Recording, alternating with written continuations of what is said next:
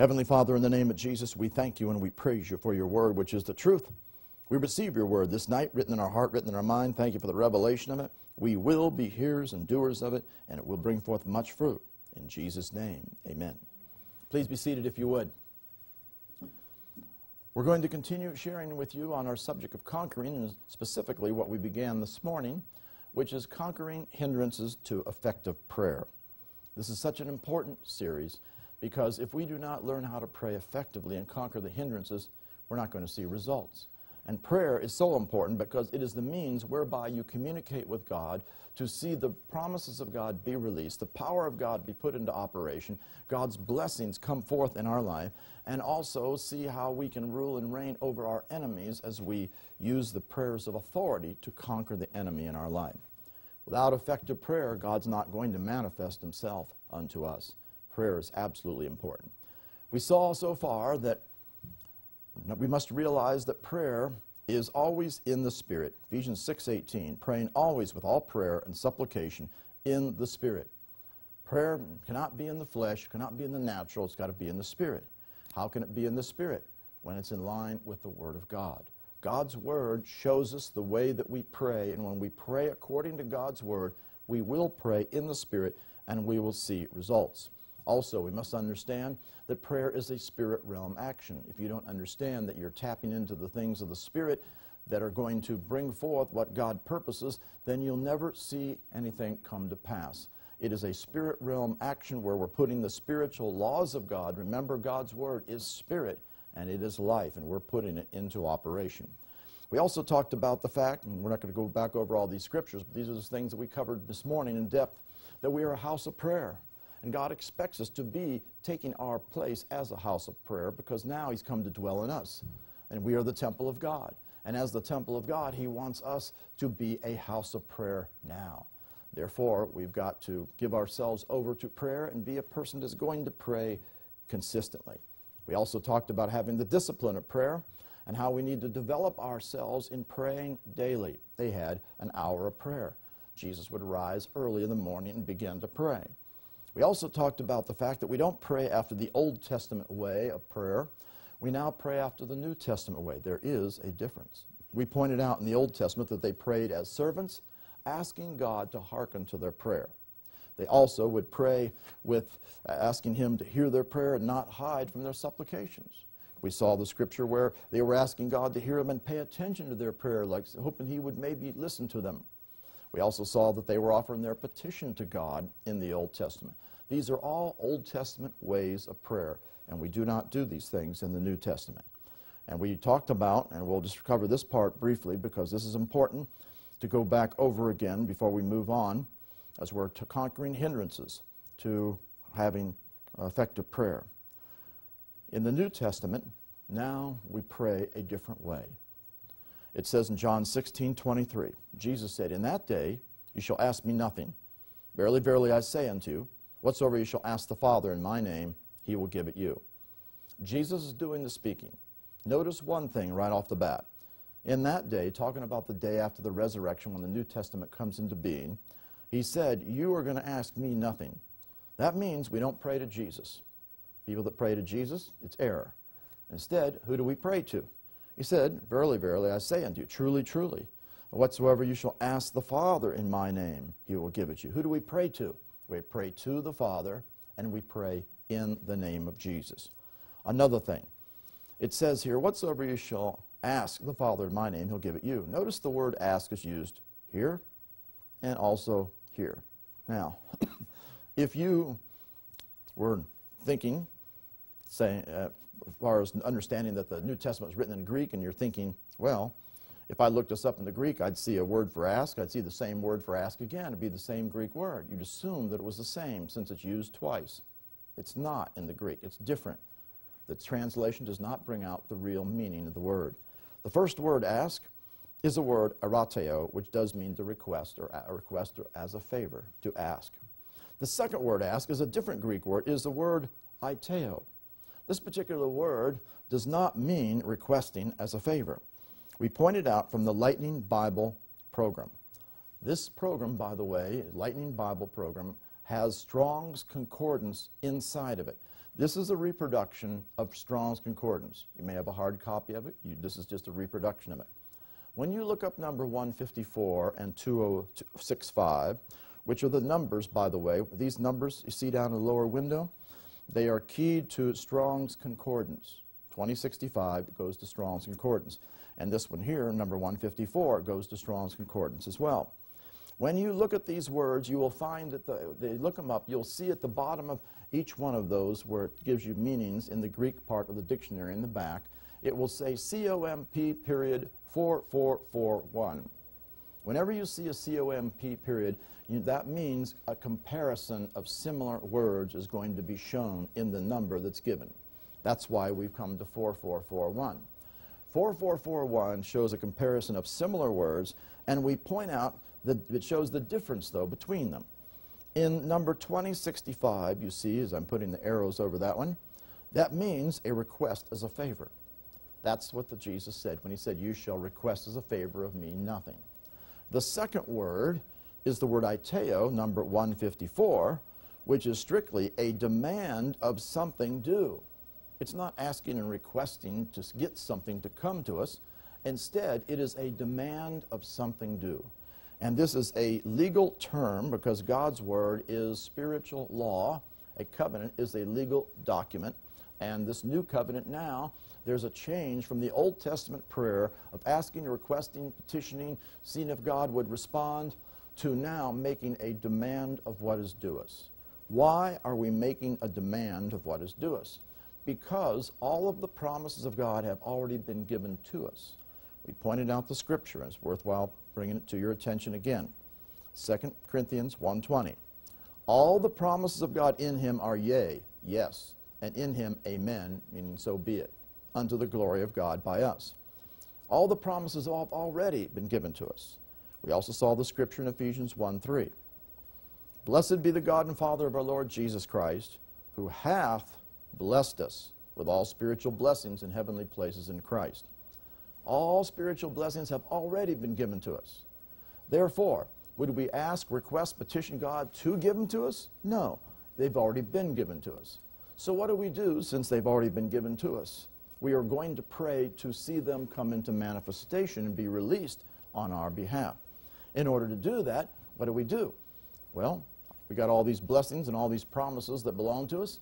So I'm going to bring that scripture promise or scripture blessing, and I'm going to pray that and bring that to the attention of the Father, making a spiritual legal demand of what's due me because of what God has given me, which is what we are doing in the Spirit to see that promise come into manifestation in our life. That's one aspect of what we do.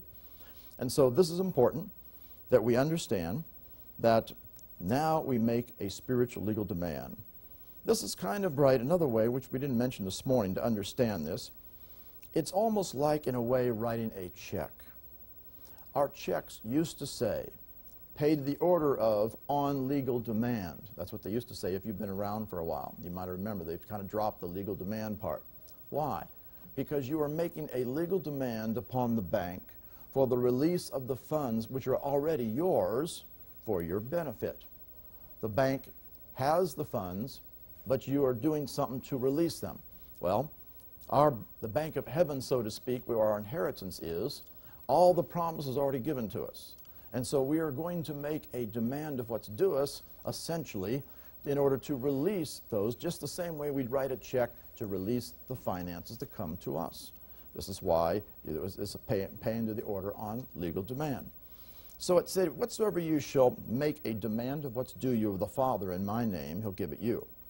Hitherto, or up to this time, this means, have you, aiteo, made a demand of, of what's due you of nothing in my name. Why?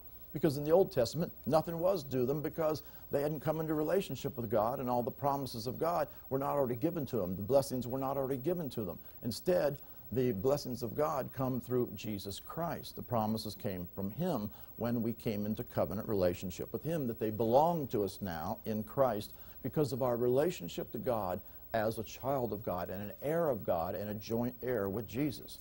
Now remember, that scripture, we'll just jump over it for a moment. In 1 Peter 1, verse 3, that is 1 3,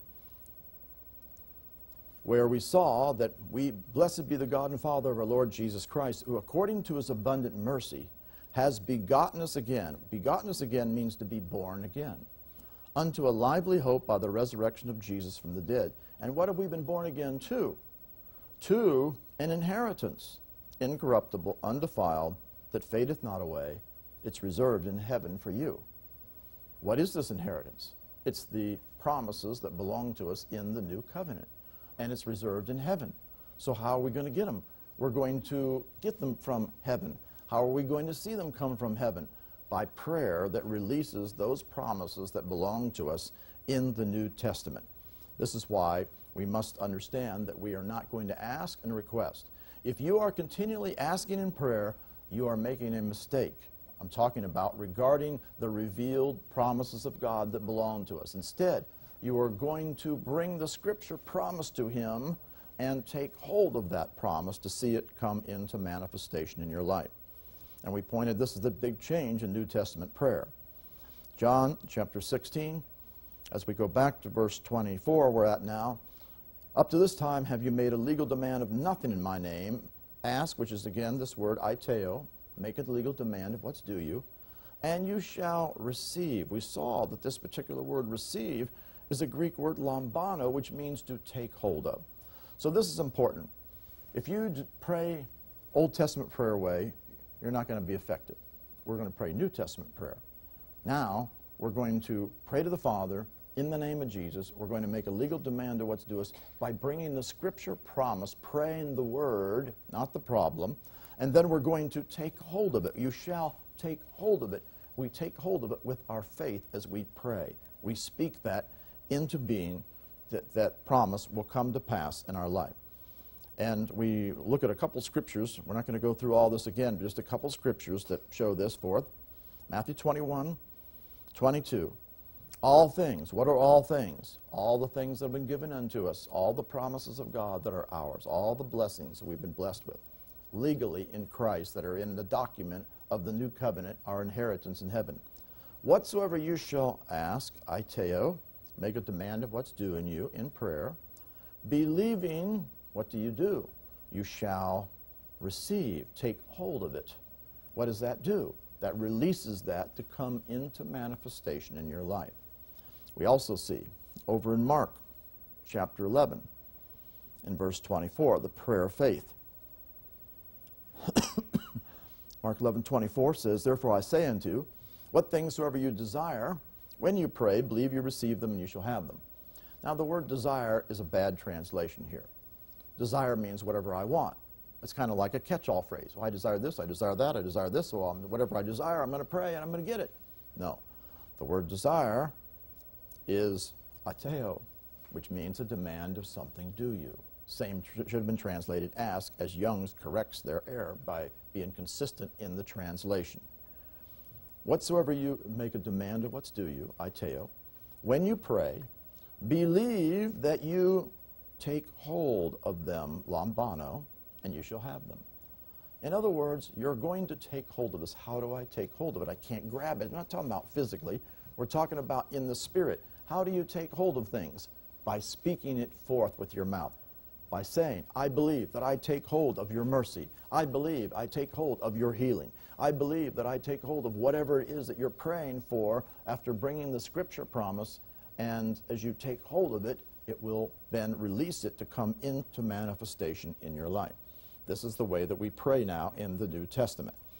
And another thing that we pointed out is the fact that we do this with thanksgiving. Thanksgiving is going to accompany your prayer. You're going to thank Him as you are praying because thanksgiving shows that you know it's already been given to you and you're thanking Him because it's already been given to you as you're taking hold of it. We always pray with thanksgiving. And we took the time to go through all the scriptures showing that aiteo is used in all the major prayer scriptures and also lambano. They're used together time after time, showing that we make a demand of what's due us by praying the scripture promise and then we take hold of the promise of God. Therefore, if we're going to conquer hindrances to effective prayer, we're going to pray God's way, not our own way, not however we want to. And we pointed out also that we must pray as those who are righteous those who are born again and doing righteousness and walking in line with God's word. We must also pray having confessed our sins and iniquities. Otherwise, we won't be righteous and God's not going to hear our prayers. He does not regard the, uh, the, uh, the prayers of those who are, have iniquity in their heart. We saw that scripture, we'll just give you in uh, Psalms 66 18. Psalm 66 18 makes it real clear that if we got something wrong, some kind of iniquity in our heart, He's not going to hear us. If I regard iniquity in my heart, the Lord will not hear me. In other words, we have to be right with God if He's going to hear our prayers. Another scripture, which many people have not really paid attention to, but it's important, in John chapter 3, down here in verse 21, where it's talked, or 22, it says, Whatsoever we ask, we receive of him. The word ask is aiteo, make a demand of what's due you. We receive, take hold from him, lambano, take hold of him, because we keep his commandments and do those things that are pleasing in his sight. Now, what does that tell you? That means there's some conditions for you being able to approach God, the Father, in prayer in the New Testament in order to be able to make a demand and take hold of Him. There's some conditions, which is keeping His commandments and doing the things that are pleasing in His sight. Which means if we're not walking in the New Testament commandments and we're not doing the things that are pleasing in His sight, then are we going to be successful in prayer? No. Many people prayed correctly but because they were not doing the things that God wanted, or they had sin in their life, or they had, were not keeping the commandments of God, they did not see the promise of God come to pass. This is conditions that are very important. We also saw the fact that we need to forgive everybody. If we don't forgive them, God's not going to forgive us of our sins, and He will not hear our prayers. We also talked about if there's disharmony between husband and wife. 1 Peter 3 7, how there will be a hindrance in your prayers. We pointed out that you and I now are to pray the, the answer, which is the Word of God, with uh, thanksgiving, taking hold of the promise of God. And we talked about the fact that we are to pray continuously in order to see the desired results. And we were finishing on that. Now, we were pointing out also that we pray for ourselves. Many people always want to get someone else to pray, but you've got to realize the scriptures tell you to pray for yourself. Where do we see this? We see this here in Matthew chapter 11, over here in verse 24, when it says, What things soever you desire, which is aiteo, a demand of what's due you. This, this particular word happens to be in the middle voice.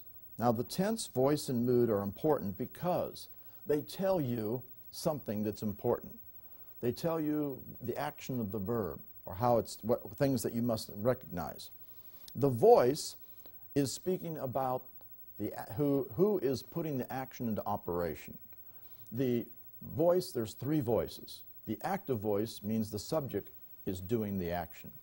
If it's the passive voice, that means somebody else is doing the action to the subject.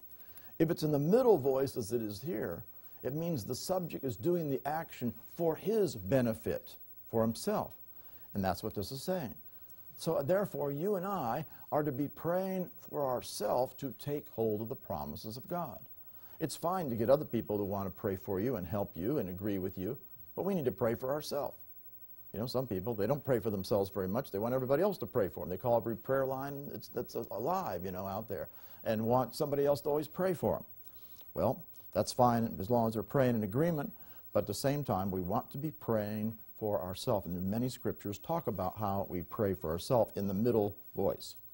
Another thing that's important if we are going to conquer hindrances is you must understand that you must realize that you have freedom to come into the very presence of God and to receive from Him.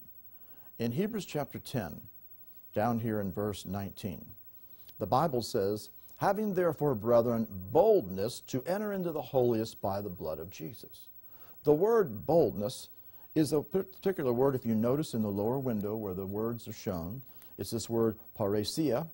And this particular word, parrhesia, means really to have freedom in speaking with unreserved, being unreserved. In other words, we have freedom to come before God, and we don't have to be reserved whatsoever. Of a total free access to the presence of God. So that's what this is referring to. And the reason I point this out because in Hebrews chapter 4, in verse 16, it tells us something. Let us therefore come boldly under the throne of grace. What's the word boldly really mean? It's the same word. You'll see this because it happens to be two Greek words, and the main word is underneath it. Parrhesia, the one we just saw, freedom in speaking with being unreserved, un, un, unreservedness. That shows the fact that it's not talking about coming boldly, I am coming boldly to God with some attitude. No, it's really talking about coming with freedom, unreserved. I have a free access into the very presence of God, to the throne of grace. And that's important. In the Old Testament, they didn't. In the New Testament, now we have that free access. So therefore, don't ever shy away from coming to the Lord in prayer because you have free access into the throne of grace that you may take hold of mercy. Another thing that's important is when you pray, you must pray with confidence. If you do not have confidence, you're not going to be releasing your faith, you're not going to be ha- having, really having hope, and you're not going to see the promises come to pass in our life. How do we see this? Down here in 1 Corinthians, John, 1 John 3.21. Let's back up a verse first of all. It says in verse 20, If our heart condemn us, God's greater than our heart and knows all things. Why would your heart condemn you? Because of the fact that you have sin or iniquity or something's not right in your heart. You have unforgiveness, you got doubt, you got some problem. So, he goes on and says, Beloved, if our heart condemn us not, that means our heart's right with God. We haven't got, we've, we've confessed sin. We don't have a heart that's wrong. Then have we confidence toward God. This is important because if you're going to see effectiveness in prayer, you've got to hinder anything You've got to conquer any hindrance that would try to stop you from having confidence. God wants you to have confidence toward God. He goes on. That's why he says, Whatsoever we make a demand of what's him, we take hold of him because we keep his commandments and do the things that are pleasing in his sight. That's why we have confidence before the Lord. And we also know that as we're praying in line with his word, we can take hold of the promise of God. So, confidence. Don't ever pray without confidence. Otherwise, you're not in faith, you're not really in hope. And how are you going to be able to take hold of something if you don't have confidence of what God's going to do? Confidence is not manufactured in your mind, it's based on you having met the conditions of the Word. Then you have that confidence before God that you can come and pray and receive His promises. We see it again in John 5 14. And this is the confidence that we have in Him confidence in prayer is a key. Many people, they just pray to see whatever God might do, hoping maybe He'll do something. There's no confidence in that. There's no, really, you're not even in Bible hope, which is a confident expectancy of what He'll do. And you certainly can't operate your faith and take hold of anything if you don't know what He's going to do. Confidence knows exactly what God is going to do when you pray. And he goes on. This is the confidence we have in him that if we ask, remember the word ask is aiteo, make a demand of what's due you, if anything, according to his will. What are we to pray in line with? His will. What is his will? His word. This is why we pray the word. Then it says, He heareth us.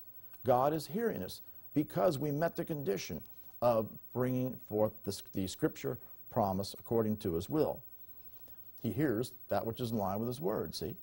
And if we know that he hears, which we should, or more literally, this means the fact that because we understand about New Testament prayer, the perfect tense of the verb here, which is a past tense, showing past tense uh, that something's completed action, it says, because we have known, or as Young's brings out, because we have known that he hears us. Why do we know?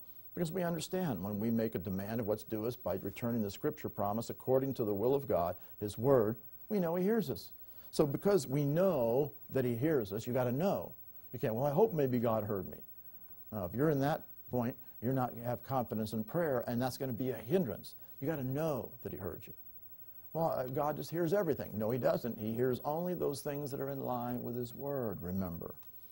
We have known that he hears us. Whatsoever we made a demand of what's due him, aiteo, we know, same thing here when we look at this word, perfect tense again, have known, as Young brings out, that's the way you would translate it literally in the Greek, we know we have known that we have the petitions that we desired of him. Now, this particular word have here is the fact that we are, are having or are showing the fact that what we're praying is at work to bring this into manifestation because it's a present tense verb, that we are having the, now remember the word petitions is a word aitema. If you weren't here this morning, you may not know all this, but uh, this is aitema comes from 154. It's the same word meaning a demand of what's due you. We know that we, ha- we, ha- we have known that we have the demands, legal demands, that we Aiteo made a, a demand of him, which was when we brought the word. In other words, when you pray the word according to his will, you know he heard you. And because you know he heard you, you know you have. If God heard you, that's all that counts. If he truly heard you, then you know you have all of these spiritual legal demands or promises that you made a spiritual legal demand of him that have already been given to you. That is an important point. That's how you have confidence in prayer.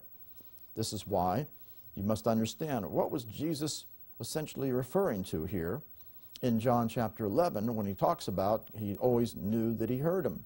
John 11:31 when Jesus was raising Lazarus from the dead, he said, "Father, I thank thee that thou hast heard me." He had confidence that the Father heard him. Why? Because he prayed in line with the word of God. And I knew that thou hearest me always. That's what God wants us to come to the place. You should know that God has heard you. Why? Because I prayed the scripture promise according to the word of God. And I did it with confidence. And I know he heard me. I know that I have what I have prayed. I know that he hears me always. That's an attitude that God wants to bring forth. Confidence in prayer. Without confidence in prayer, That'll be a hindrance to you seeing any results. Another thing that's important we must pray with strong desire fervently. We just kind of don't go through the motions.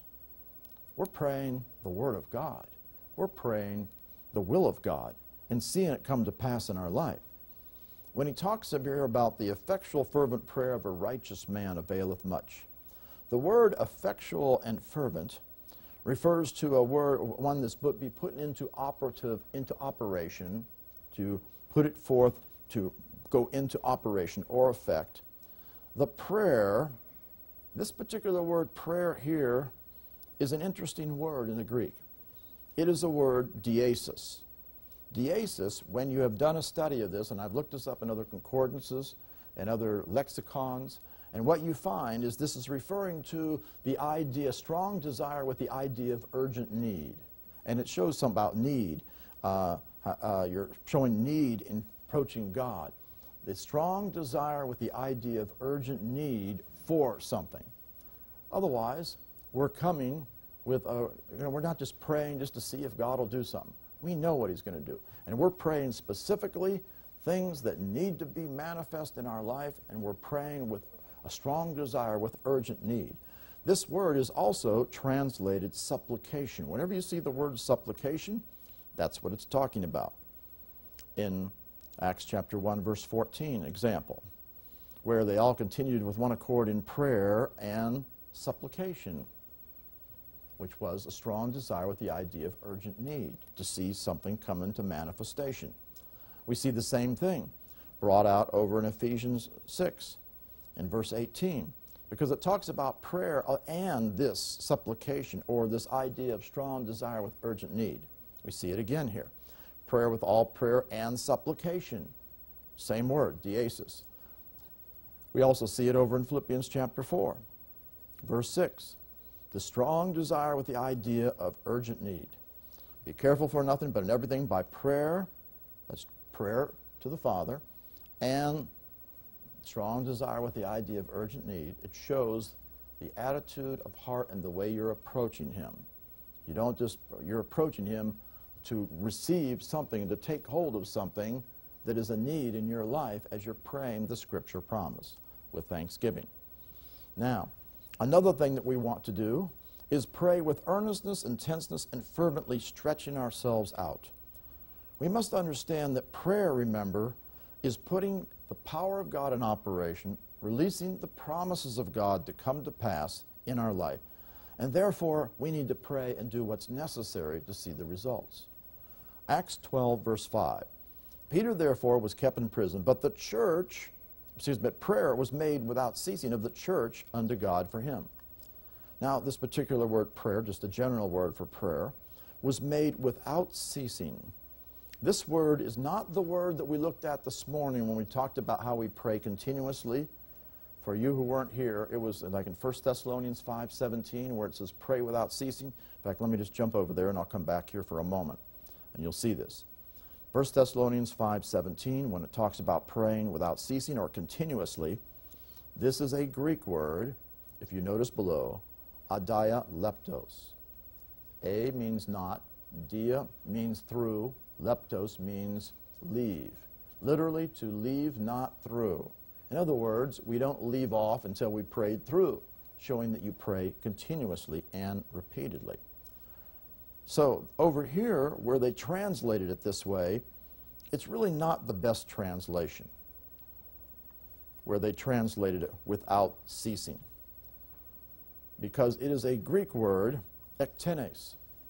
This particular word means with earnestness, with intent, with stretching yourself out. I mean, we're talking about with fervency. That's why uh, Young, or Young's translates it with fervent prayer, showing that we're putting something into this. I mean, it's not just pray some little prayer and, you know, and then go off and do our own thing. There's some fervency, there's some intenseness, there was some earnestness about it, uh, there was uh, uh, stretching yourself out is kind of what this word also means. You're kind of stretching yourself out. Otherwise, you're doing whatever's necessary. You better believe that the church didn't pray some, well, thank you for releasing Peter from prison, and then went on their way back to their own duties. No. These guys were praying and praying and praying and stretching themselves out to do what was necessary to continue to pray in order to see him be delivered. And of course, that's what happened. He was delivered out of the prison. Continuous prayer, intent, fervent prayer, earnest prayer will bring results. This is also what Jesus was doing in Luke chapter 22.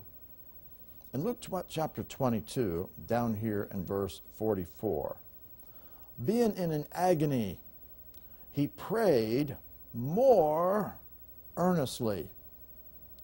More earnestly here. This is a form of the word ektenes, it's a word ektenesteron, more intently and more earnestly. Remember, Jesus was really being tempted when he was in the garden. The devil was coming against him, trying to stop him from wanting to go forth, from doing the things that God wanted, which was he had to go to the cross. He in an agony. He was in agony, as it says, struggling for victory over the enemy who was trying to get to him and stop him from wanting to follow through with what God had for him. He prayed more earnestly. That meant he more intently, more earnestly in the face of the attack that was coming against him. This is why, why you understand you're going to stretch yourself out, you're going to pray earnestly, you're going to pray with fervency until you see the results uh, especially when the devil is attacking you on areas in your life. That's when you need to pray and continue to pray consistently the Word of God. Another point is we want to pray with perseverance.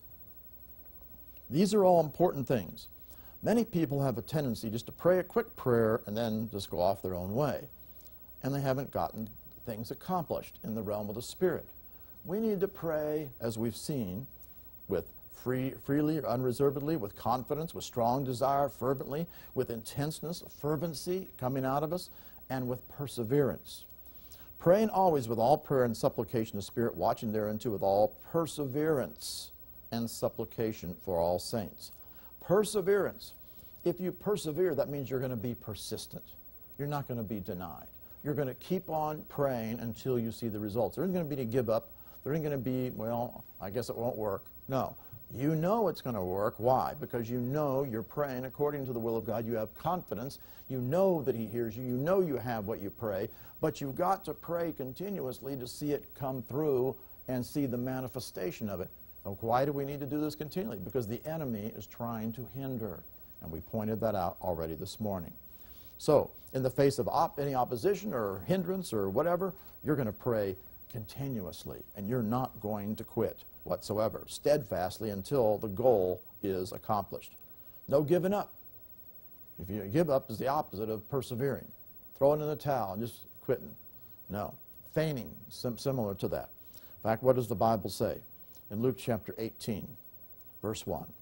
He spake a parable to them to this end, that men ought always to pray, and the word ought really means it's necessary, translated must the majority of the times in the New Testament.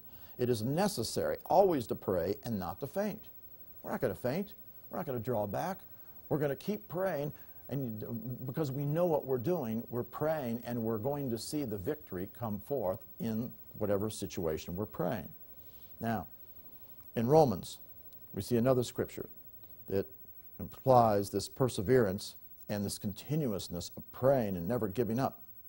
When it talks about rejoicing in hope and patient tribulation, continuing instant in prayer. That means we're continuing on in prayer, steadfastly attentive to this, literally, is what this means.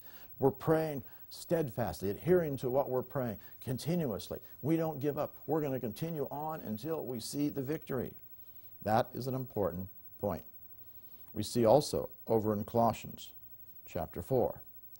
This is why praying without ceasing is so important, and it is the difference between victory and defeat in many cases where people pray, but they don't pray continuously until they see the victory.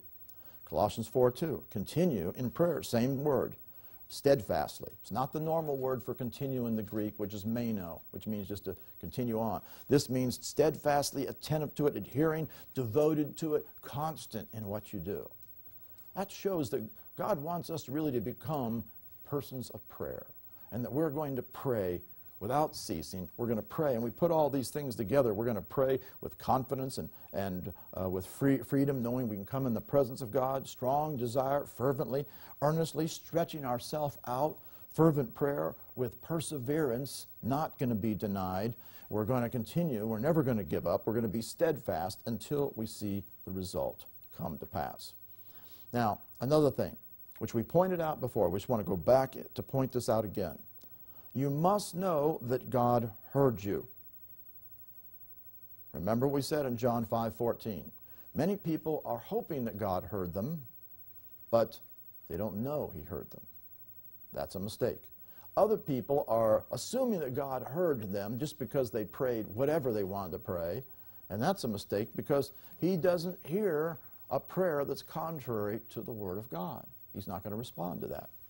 This is the confidence that we have in him. We make a demand of anything according to his will. He heareth us. And remember, if we have known that he hears us, you need to know that what you prayed, God heard. Then you know that it's going to come to pass in your life and you can take hold of it if it's something you promised you're taking hold of. And so whatsoever we've made a demand of what's due us, we have known that we have. We have known that we are having, remember present tense of the word have, we know that we are having the legal demands that we made a legal demand of Him. Otherwise, we know they're coming to pass. We know they're at work, and we're going to keep on praying until they're absolutely manifest. But we know. This is important. You must know that He heard you. You can't assume He did. And you must also know that you have the things that you prayed. These are important. If not, these are going to be hindrances to results in prayer, just like what Jesus said. Now, another thing is, we do not want to pray, if it be thy will. Say, well, Jesus prayed, if it be thy will. Well, there was what we have to see what he was doing at this time.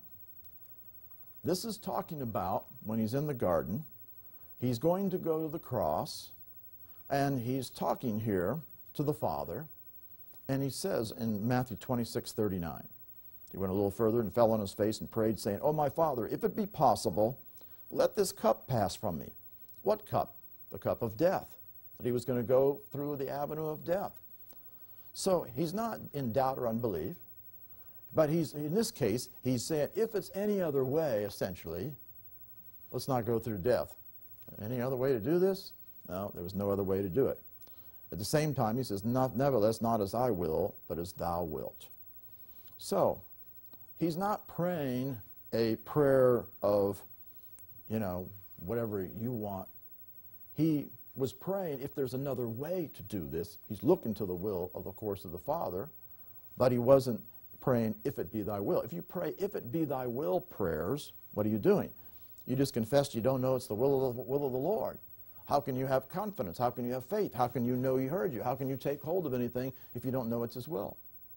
This is why we don't pray, if it be thy will. A lot of people say, they pray a prayer and they say, if it be your will, they kind of put that little tag on the end of it. That just shows you doubt. It um, shows you don't know it's the will of God. Therefore, we are not going to pray, if it be thy will, type prayers. We're going to pray scriptural promises that have been given unto us. Another thing is we don't want to be, which goes right along with this, we aren't going to be just hoping and wishful thinking that maybe God will do something. Again, confidence in prayer is absolutely essential to see results. Another thing that we pointed out is we must take hold of the promise. If you don't take hold of the promise to, with your prayer of faith to release it, then it will not be coming into manifestation. We pointed this out in all the major prayer scriptures where ask, aiteo, a demand of what's due you, and receive, lambano, a taking, self-prompted taking hold of, was in all these scriptures together. When you make a legal demand of what's due, you bring in the scripture promise to him. Well, that's good. That means it belongs to you, but that doesn't mean it's released yet. That just means you brought it to, to, him, to him. You need to take hold of that now in order to see it. You know, you come up to the banker and you say, here's my bank book, and it says, I got all this money in here. Wonderful. And you just stand there. Well, what do you want? I'm coming to take some of my money. That's what I'm taking hold of it. Or I'm coming to take the promise that's already been given unto me. This is why taking hold of the promise, and we don't take hold of the promise and think maybe God will release it. We're taking hold of it now, and we know He is releasing that promise to come into manifestation in our life. It's always going to be now. It's, that's why, also, one of the reasons why it's in the present tense. The present tense denote, not only denotes continuous repeated action, but it also denotes something that you do now. Whatsoever things you make a demand of what's due you, when you pray, be, not uh, you know, later on, when you pray, believe that you take hold of them and you shall have them. What are you doing? You're taking hold of it at that point in time.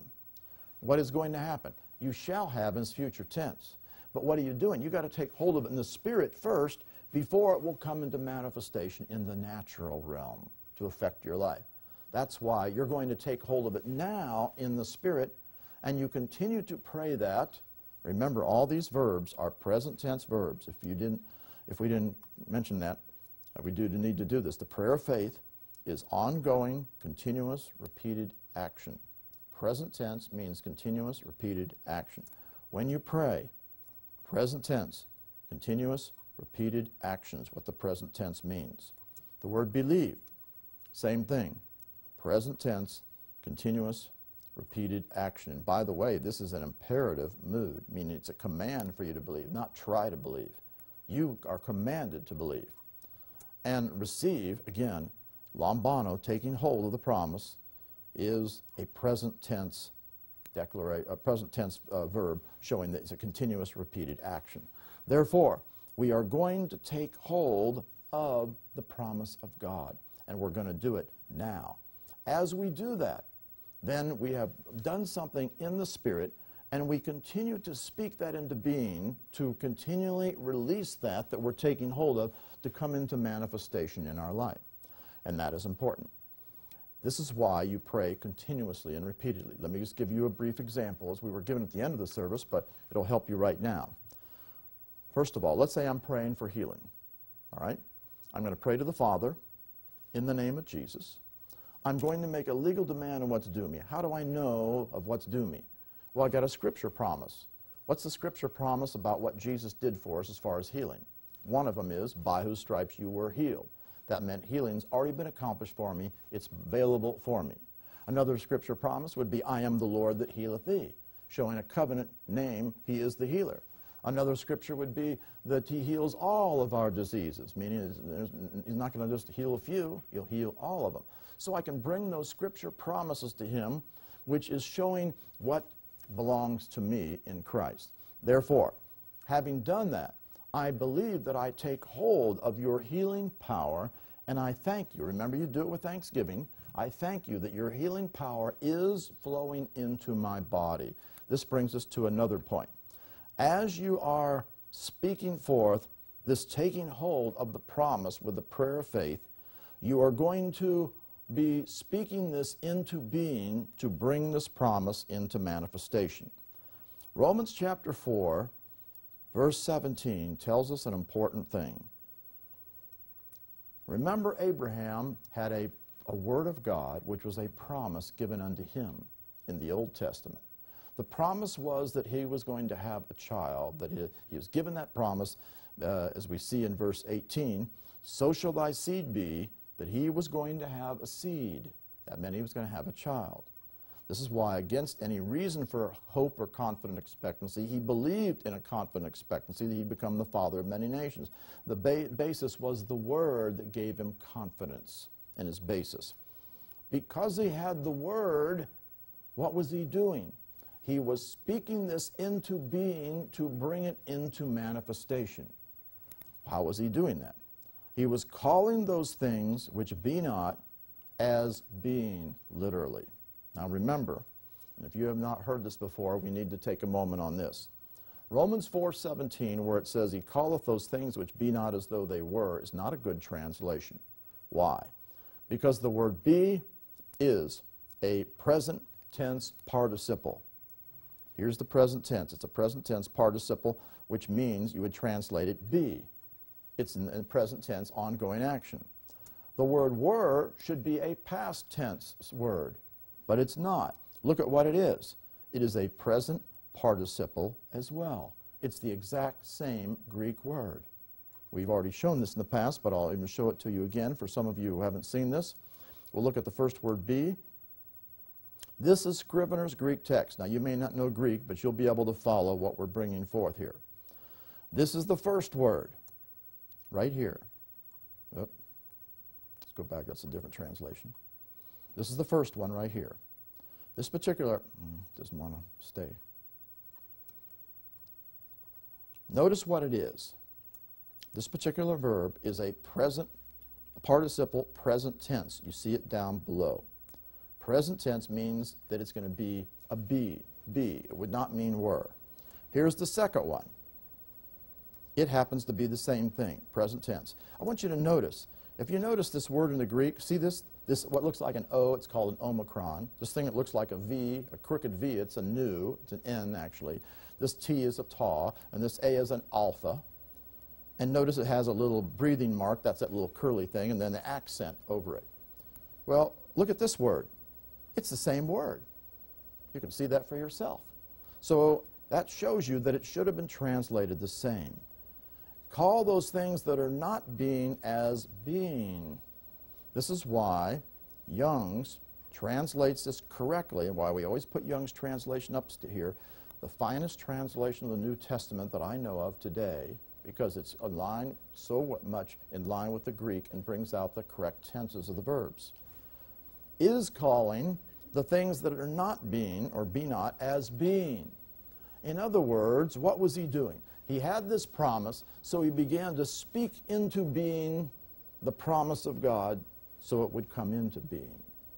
That's exactly what we do when we're praying the prayer of faith. We believe that we take hold of His healing power and we thank Him that His healing power is flowing into our body or is quickening our body. What are we doing? We're speaking it into being. We're declaring what God is doing for us now. That's what you're going to do when you're taking hold of something. You're taking hold of it so that it is manifesting in your life as you're speaking it to being. You say, Well, I don't feel it. You're doing it in the spirit, and as you continue to do it in the spirit, it will manifest in the natural. You continue to speak it and speak it and speak it. We must understand that everything that you're doing in prayer is going to be in the spirit, remember, and it will manifest in the natural realm. Therefore, we are going to speak these things into being. Another thing is, Many people have had the formula, so to speak, of prayer. I'm going to ask, I'm going to believe that I receive, then I'm going to thank Him for it afterwards. That's error. Do not do those things. Why? Because when you pray, you begin with thanksgiving. We know that, or Philippians. Philippians chapter 4, verse 6, when it talks about how we pray in everything by prayer and supplication with thanksgiving. Otherwise, it accompanies our prayer. And we pointed out how we begin with thanksgiving. By the way, the word request, remember, is aitema, which is a form of the word aiteo, meaning a demand of what's due us. So you begin with thanksgiving.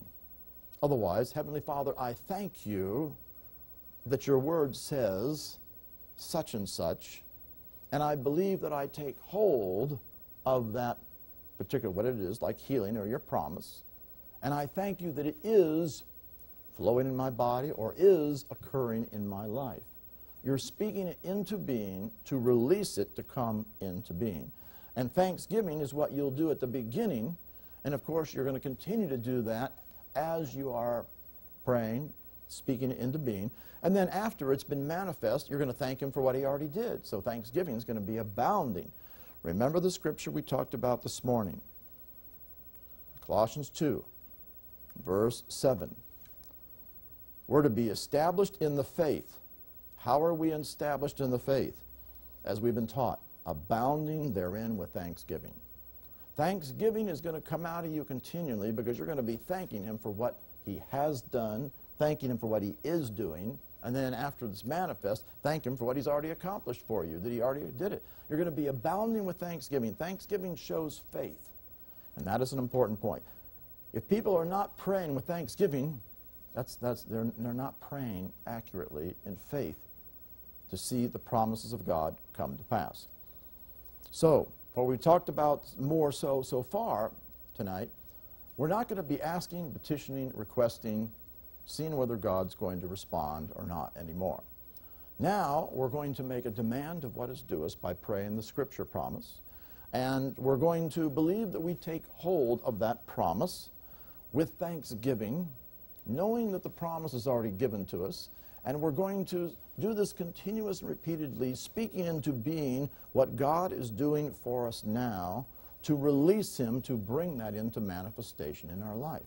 We're speaking it into being. And that is another important point. Now, many people are uh, erroneously wanted to pray for more faith. I've heard people say, well, I need to pray for more faith. Do I need to pray for more faith? No, I don't need to pray for more faith. Why?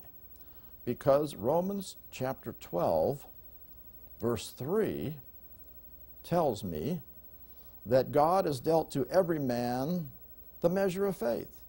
We all have the measure or a measure of faith, as Young's brings it out. The measure means you got a measure of faith. And what faith is this?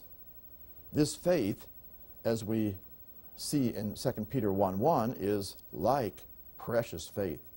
It's precious faith. You've been already given, like precious faith, the measure of faith. And what is this faith? We see in 2 Corinthians chapter 4, verse 13, it tells us this. We having the same spirit of faith. What is this measure of faith? What is this like precious faith? It's a spirit of faith. And it says same spirit of faith. What's that mean? You got the same spirit of faith that I have, that everybody else has. It's the faith of Jesus Christ. It is a spirit of faith.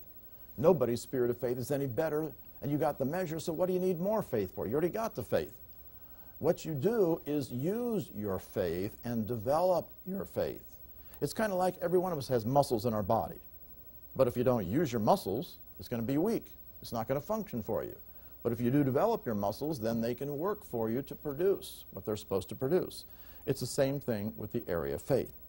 Now, this is our general spirit of faith. At the same time, you wouldn't pray so much for more faith. Instead, if you're praying for someone, you might pray for them that they get in the Word so they hear the Word so they'll get specific faith on an area so that they can then act on the Word with their spirit of faith. Remember, in Romans chapter 10, it talks about how faith comes specifically in your life in area after area of the Word of God. Faith comes by hearing, hearing by the Word of God. So the more you hear the Word, the more faith is coming. Faith in the area of love, faith in the area of peace, faith in the area of prosperity, faith in the area of healing, whatever it might be. So we do not pray for more faith. If you're going to pray regarding your faith, you would pray, Thank you for revealing the Word to me or praying for someone for them to get in the Word so they'll get specific faith, but you pray for them that they would use the faith that they have and begin to work their faith with their general spirit of faith by applying their faith. In fact, we know this is the answer because look at the answer that Jesus gave these guys in Luke 17 5 when they said, Increase our faith. They said, Hey, we, we know our faith has to increase, get stronger here. He said, The apostle said, The Lord, increase our faith. What was the answer? The Lord said, If you had faith as a grain of mustard seed, do we all have faith as a grain of mustard seed? Yeah, we got all got the spirit of faith. What did he say? Pray for more faith? No. He said, Say unto the sycamine tree, Be thou plucked up by the root, be thou planted in the sea, and it should obey you. Otherwise, what's the answer for the increase of your faith or the development of your faith or the strengthening of your faith? The answer is apply it, put it in operation. Because when you say to something, what are you doing? You're working your faith. Because the way the faith works is you believe and then you speak in order to release your faith. So therefore, he was telling them what to do. So we don't need to pray for more faith. We just need to put our faith in operation and work it. Remember, we didn't read the rest of this, but it says when we have the same spirit of faith in 2 Corinthians 4:13, I believe, therefore have I spoken. We believe and therefore speak. We believe and then what do we do? We start speaking. Why are we speaking? We're working our faith. We're releasing our faith. We're putting our faith into operation so it will bring forth the promises of God in our life. Another thing that's important while we're talking about this, many people will get up every morning and pray to put the armor of God on. That sounds like a good idea.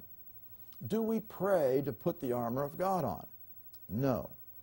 Because how, what is the armor of God? It is God's Word in us. We know this from Ephesians chapter 6. Ephesians chapter 6 talks about the armor of God, where we're to take the armor of God, and each part of the armor of God involves the Word. The loins girt about with the truth, that's the Word of God. The breastplate of righteousness, that's the Word in our heart feet shod with the preparation of the gospel of peace, that's the word directing our steps. The shield of faith, that's the word in our mouth to speak to quench the fiery darts of the wicked one. Jesus said, It is written to deal with the enemies. The helmet of salvation, that's the word in our mind. The sword of the Spirit, which is the spoken word, rhema, that we use to smite the enemy. So all the parts of the armor are the word in you. So how do you put on the armor of God? Get up in the morning and I'm praying to put on the armor of God? No. It's put on in the measure you have the Word in you. If you don't have the Word in your mind, do you have the helmet of salvation? No. If you don't have the Word in your heart, do you have the breastplate of righteousness? No. If you don't have the Word ready to speak forth to extinguish the fiery dart of the wicked one, do you have the shield of faith up? No. In other words, the way you get the armor on is by the Word in you not praying to put the armor on. People prayed to put the armor on, wonder why I got beat up by the devil that day. I thought I had the armor on. God, how come you let me, you know, they always want to blame God. How come the devil got to me? I prayed to put the armor on.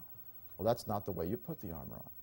Once you have the armor of God on, then through the word in you, then what do you do?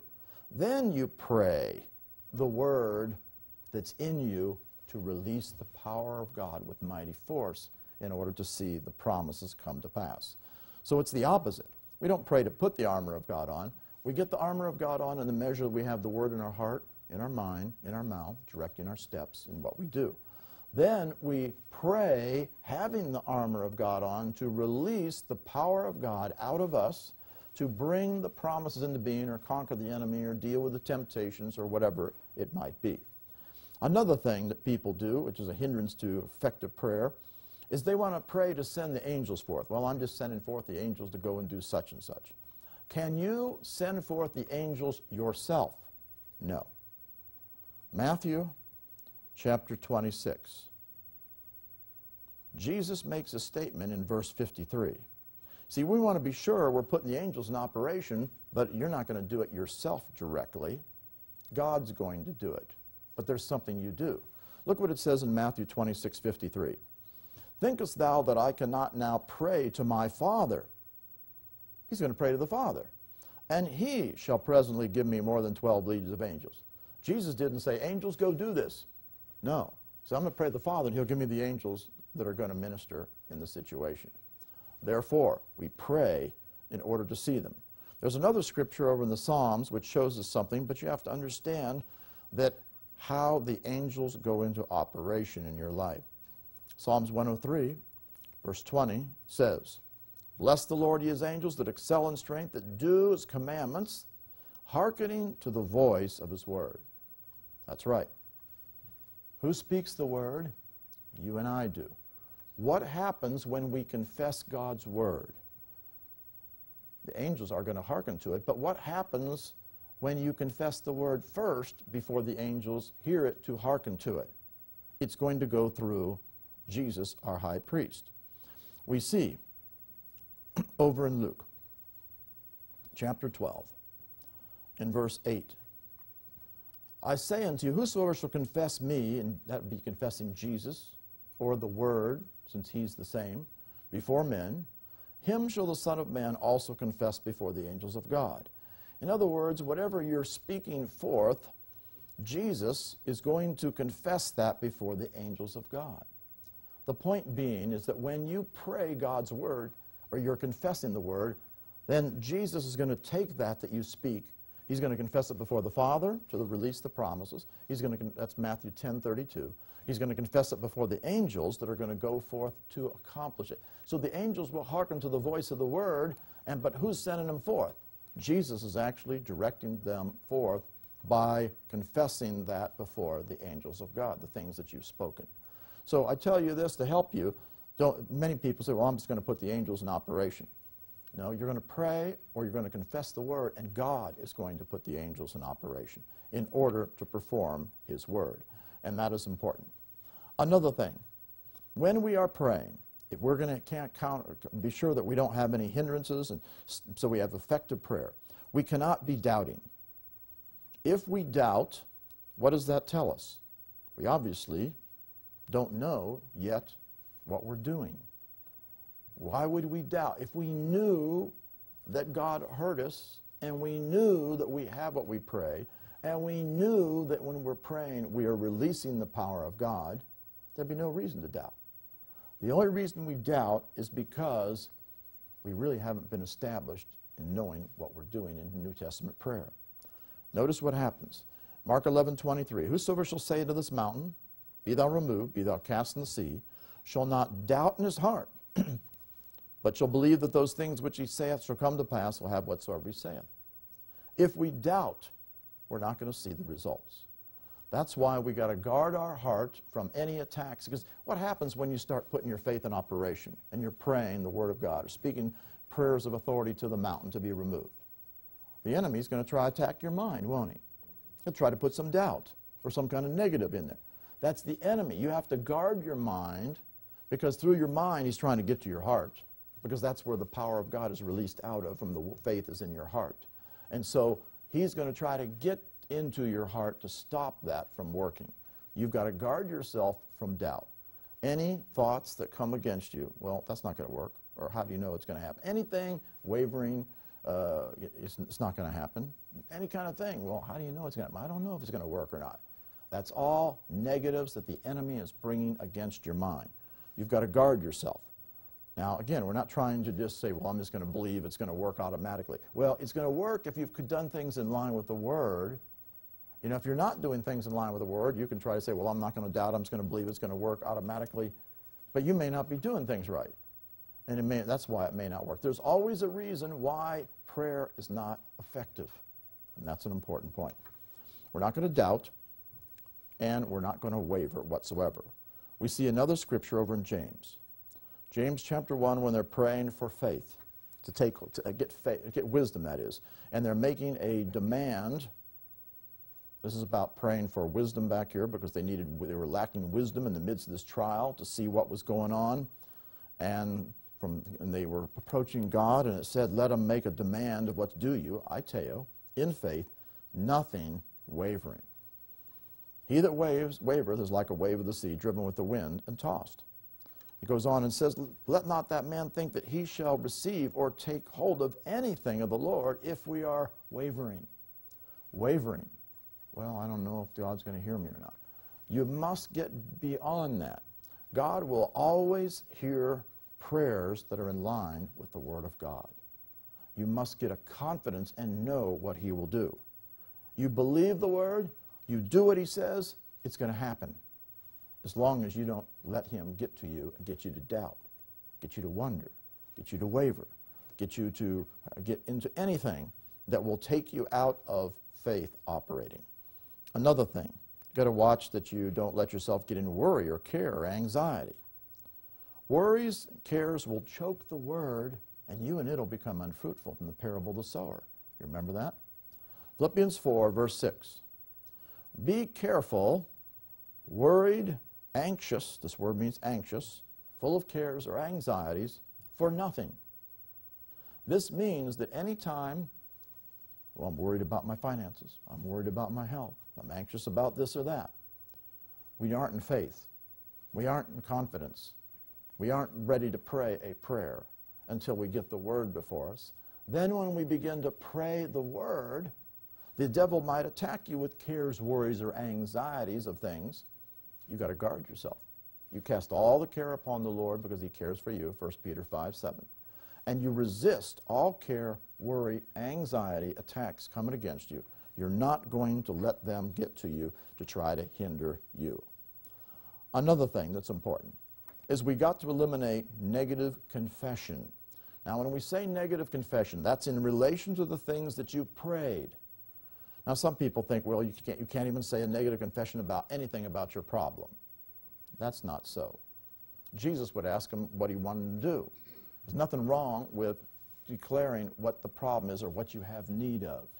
That's not a problem. What it is, is what you have started to speak forth and put your faith in operation, and your faith is working, and then you start speaking things contrary to your faith working. That's where negative confession will stop you from seeing a promise. For instance, I believe I'm taking hold of healing power, and I thank you that your healing power is flowing in my body. And I've been praying that, and I'm speaking that for healing to coming into my body. And then, a little later, well, I don't see anything happen in my body. Well, what's that?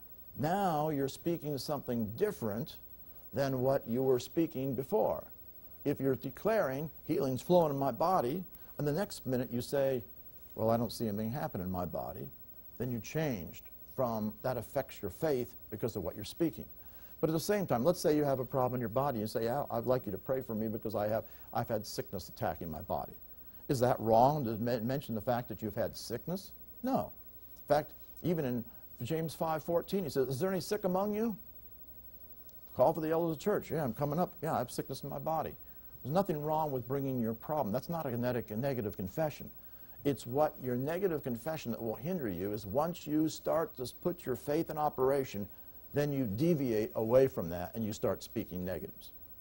I've been praying for a particular thing, and then I might say, well, it's not working. Uh, you just shut down your faith. Don't ever say it's not working once you put your faith in operation.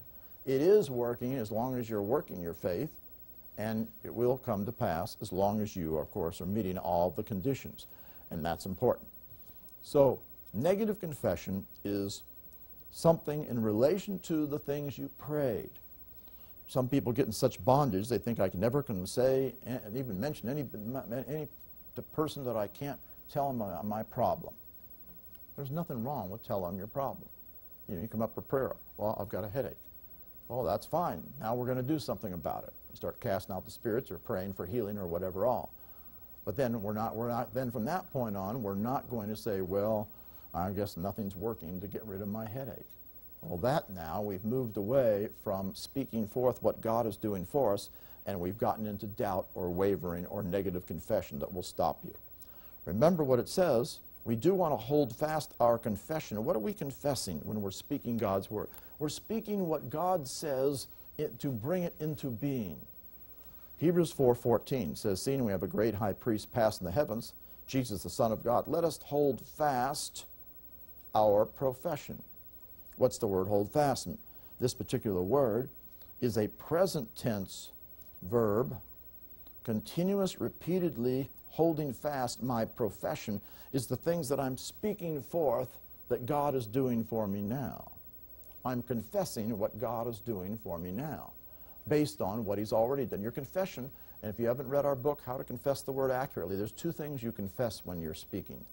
You're going to confess the promise that belongs to you, and then you're going to confess what God is doing for you now or what you're doing actively with your faith to see the promise come into being.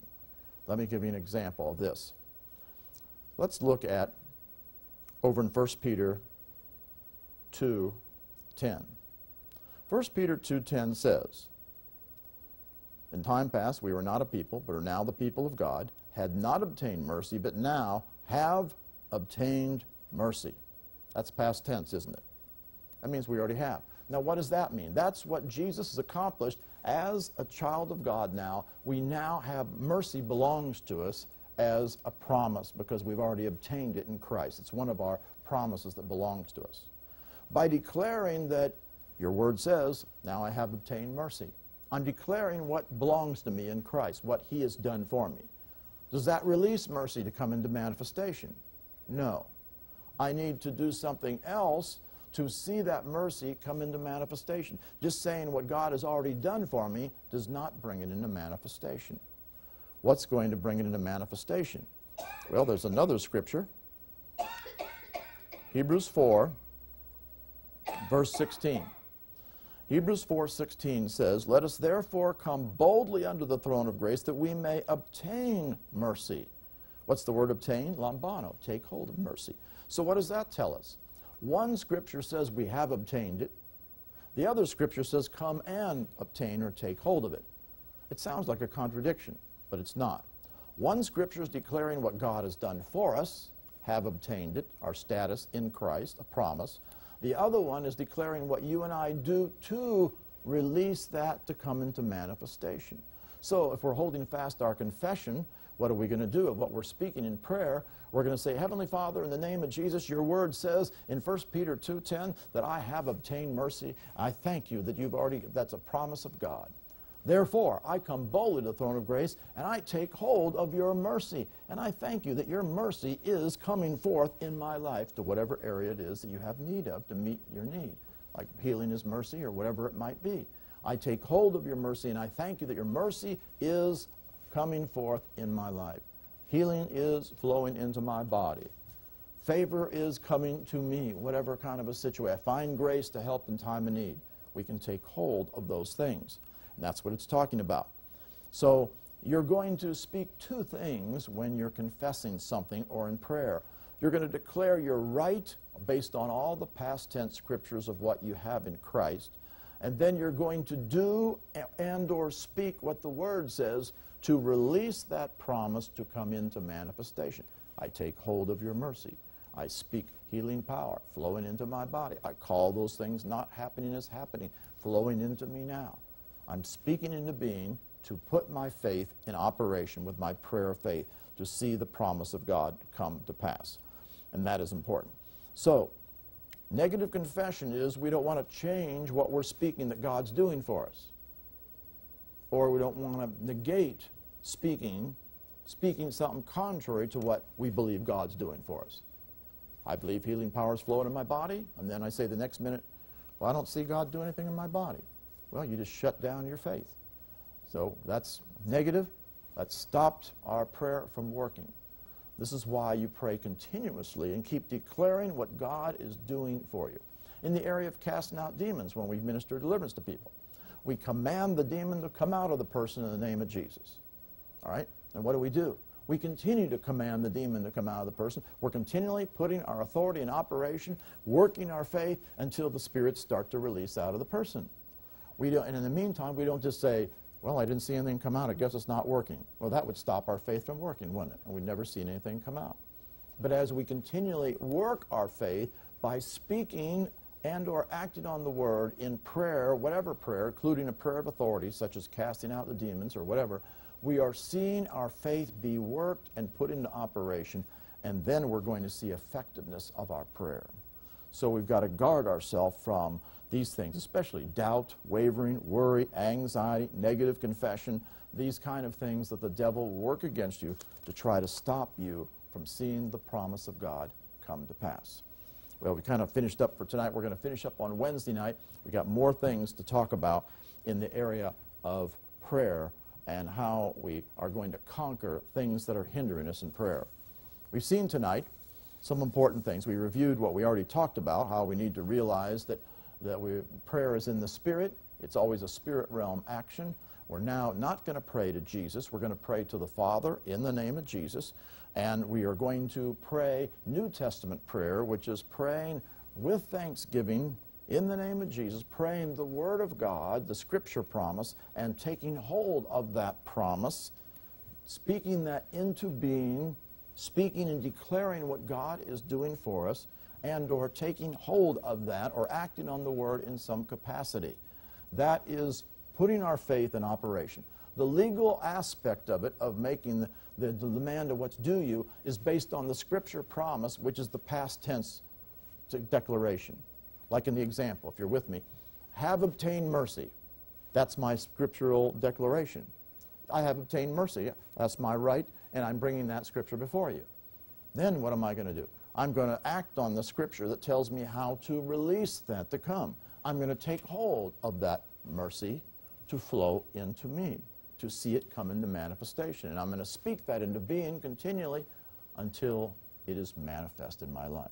So these are the things that are important. And while this is going on, you've got to guard yourself from the devil's attacks. He will try to get you to worry, try to get you to doubt, try to get you to waver, try to look at circumstances. We didn't get to that. We'll talk about that later. He wants you to focus on the circumstances that might affect you in your believing and your heart. Nothing wrong with the circumstances. Just don't let it affect you. You keep on speaking. Well, I see this tumor. I haven't seen it leave yet. But I'm going to keep casting out or keep taking hold of healing, and it's going to leave as I keep on working my faith, and it will be eliminated. But I don't see it leaving yet, but that's not going to be moving me in my faith of what I'm speaking into being or what I'm casting out because I know God is working as I'm praying, releasing His power to give the victory. And as you do that continually, then you'll see the victory. We've seen this with people getting free, free, from tumors, where we sit there and cast out and cast out and cast out and release healing into people until the tumor was gone. For a while, you may not see anything change at all. But after it's gone and you win the battle in the spirit, the change will come in the natural. That's what happens in the area of deliverance. We've seen this happen continually. That's why understanding everything that we do in New Testament prayer is going to be in the spirit. You have to win the battle in the Spirit. You've got to release the promises in the Spirit. It's going to be spiritual uh, activity that is going to bring everything into being in the natural realm. It will. If something happens instantaneously, praise God, it's gone. Or the problem's gone, or the manifestation of the victory is. But nonetheless, you keep on praying. Like, for instance, let's say pray in the job prayer. We've had people that have been praying the job prayer, and they prayed it for a while as they kept looking, and then finally they got a, prayer, a, a, job that came forth that was manifested. Well, I gave you the testimony this morning. The guy that we prayed that called and said that he was his hours were cut, he was his hours were already lower and were down, and then he found that his hours were lower. Then he said he found out his hours were going to be cut more, which meant he was really in trouble financially. And then we prayed and the next day, the supervisor comes to him and says, hey, we got a project, we got something that we need for you to do on all these computers and set them all up. And so we want you to do it. Instead of your hours being cut, now you're going to have full-time work.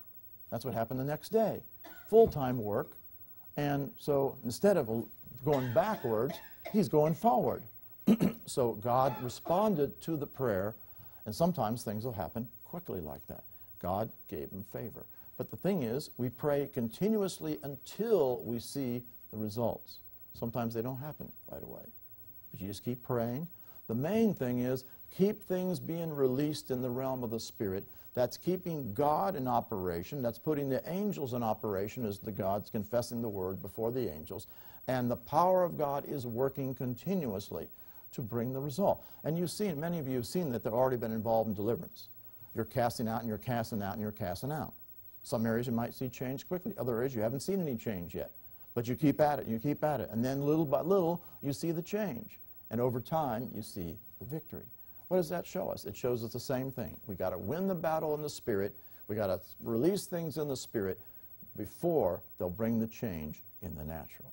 And that is true. Accurate New Testament prayer, remember, it's always going to be in the Spirit. Do not get your eyes on the natural. You speak things into being, spiritual power, force, promises are coming into manifestation in the Spirit, which will affect you in the natural realm. And that's important. If you do these things, you're going to conquer hindrances. And we got some more things to talk about, which we're going to fin- fi- uh, finish up on Wednesday night. We're going to talk about prayers of authority also, which are going to be important for you to pray effectively so that you see results. Praise God. Say this with me Heavenly Father, in the name of Jesus, I thank you and praise you for your word that shows me how to pray effectively in the New Testament.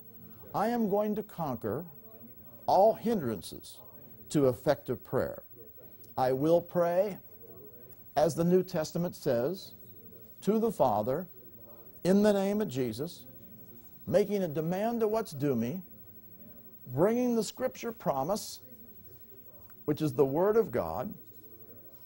I do it with thanksgiving, and I take hold of the promise of God to bring it into manifestation, and I continue to speak that and call those things into being as I'm speaking it into being to bring that promise into manifestation. I thank you, Lord, that I'm going to guard myself from any doubt or wavering or anxiety or worry. I will not speak negative things regarding what I've been proclaiming God is doing for me now. I thank you that I am going to believe, that I take hold of that promise, and it is at work to come into manifestation in my life. I will pray without ceasing. I will continually pray until I see the results come to pass. I am going to continually thank Him, which shows faith as I take hold of the promise.